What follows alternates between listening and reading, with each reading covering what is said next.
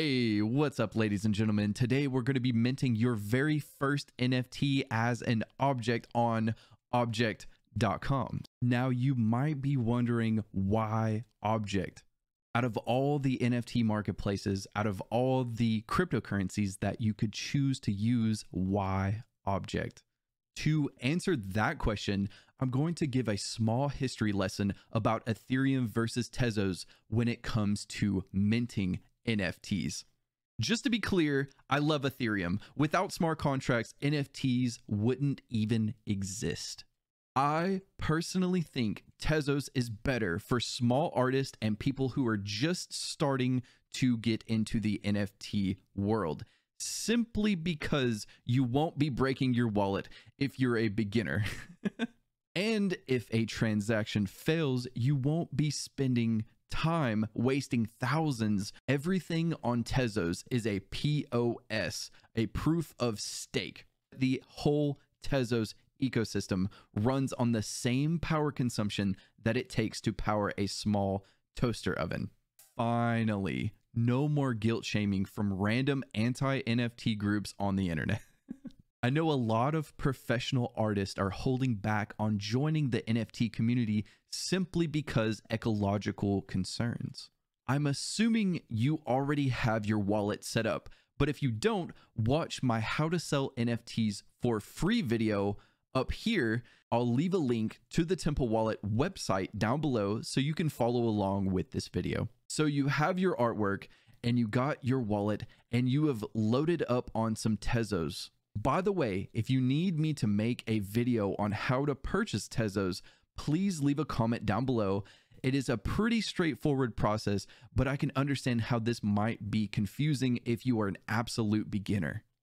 All right, cool. So we are at objkt.com. So what you're going to do is you're going to come up here to the top right hand corner. You're going to hit sync you're going to select your preferred wallet. It's important to know that when you sync your wallet to a website, it is a digital signature that allows you to access Web3 websites.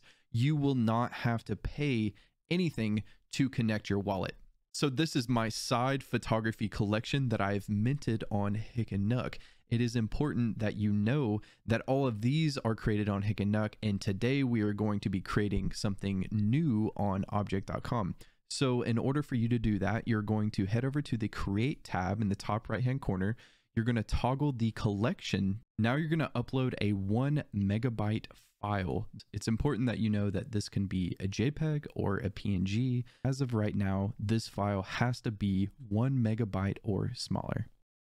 All right, cool. So you're going to name this collection, you're going to give it a description, and then you're going to hit the create tab. This is going to pull up a wallet confirmation from your preferred wallet. And from here, you're going to pay, or well, I'm paying $4.63. Well, I guess it's $4.64. And you can adjust this a little bit, but I probably wouldn't just because uh, the mints are typically adjusted accordingly. After that, you're going to hit confirm. All right, so now we are waiting for the blockchain confirmation. And now we are waiting for the files to be uploaded to IPFS. All right, good. So everything has been updated. And as you can see, the description is here, the title is here, and the wallet address is as well here. This is a Tezos domain. Yours will probably be different if you do not have a domain name, a Tezos domain name. All right, cool. So everything has been uploaded to the Yamas collection. Now what you're going to want to do is come back to create at the top right hand corner. From here, you can now fill out the token information. So you're going to select a file. It's also important that you know that you can upload all different types of files to objkt.com, including GIFs, JPEGs, PNGs, SVGs, MP4, WebM, GLBs, MP3, WAV files, FLAC files, PDF, and PDF files. The max file size limit is 100 megabytes, which is quite high compared to other platforms.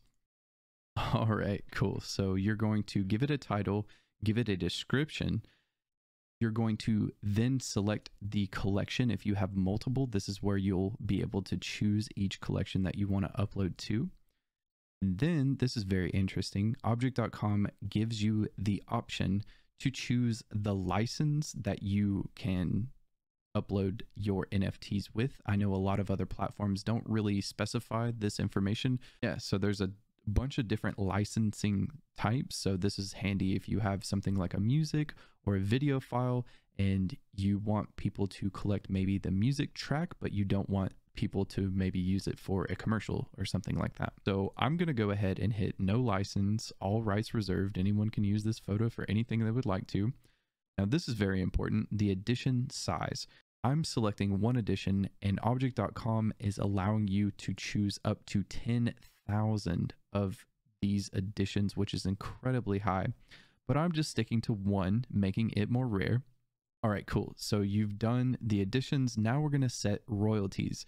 Objkt.com gives you the option to give zero royalties, meaning that you will be paid zero royalties if it sells on secondary, all the way up into 25%. So that's very high. I'm going to stay semi modest and use a 10% royalty fee. So if this photo, for instance, sells on the secondary, I will be collecting 10% of that secondary sale. That is the beauty of NFTs is that you can create generational wealth by setting these royalties. And it's also very important that you let your family and friends know if you somehow pass how to actually access your NFTs so they themselves can be collecting those royalties. All right, good. Now you've set your royalties. We're going to hit the mint button down at the bottom. And this is going to bring up a confirmation tab on the Temple wallet side of things. And as you can see, the gas fee is 0.01. It's literally a penny. And the storage fee is currently at 37 cents, which is very modest compared to other platforms where it could be hundreds. I've seen thousands and I've seen hundreds of thousands. so it's very awesome. That OBJKT is very, very low cost to mint. You're going to hit mint. That is going to confirm that and send it to the blockchain. And now we are going to wait. All right, awesome. Congratulations. You have minted your first NFT, but now you want to list that NFT for sale. How do you do that? You're going to simply come over to the auctions tab right here. You're going to enter in the amount that you would like to list or swap, if you will, onto the marketplace. And then you're going to enter in the amount of Tezos that you would like to receive. Now, this is in Tezos, not in dollar bills or Bitcoin or Ethereum. And it's important to know that if you have a large edition size, you might want to keep a couple of your NFTs for barter or trade or anything like that.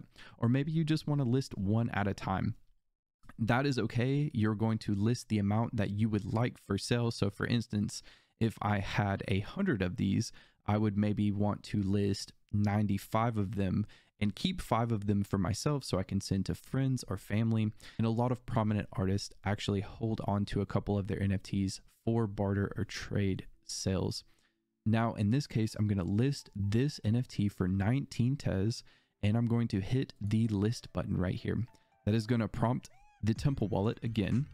And from here, you are going to see the transaction and you're going to confirm. So essentially now we're going to list.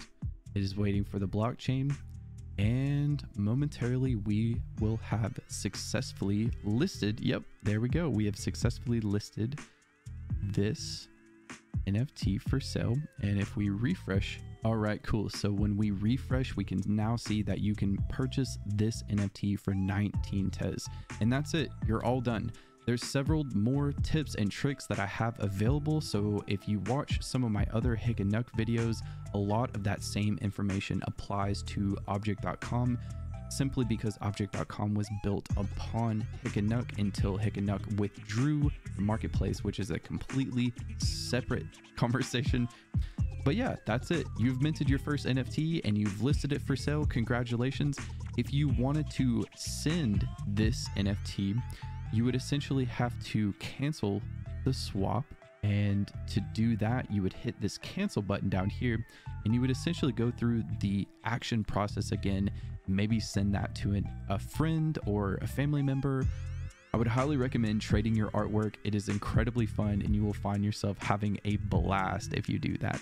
But yeah, that's it. Congratulations, you have minted and listed your first NFT. If you like this video, be sure to smash that like button. And if you have any more comments or questions, please leave them down below. I will review them and answer you as soon as I can, especially if it pertains to objkt.com or Hic et Nunc. Those are some of my specialties. Thank you so much for watching. My name is The Gospel, and you are watching NFT Gospel. Until next time.